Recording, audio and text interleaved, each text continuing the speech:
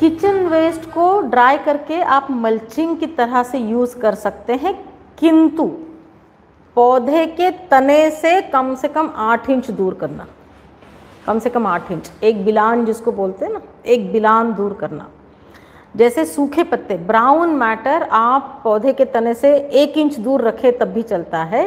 Kitchen waste dry होने के बावजूद भी, ड्राई हो गया, मैंने ऐसा नहीं है कि वो डिकम्पोज हो गया है। सो इसलिए किचन वेस्ट को ड्राई करके आप थोड़ा दूर करेंगे उसको।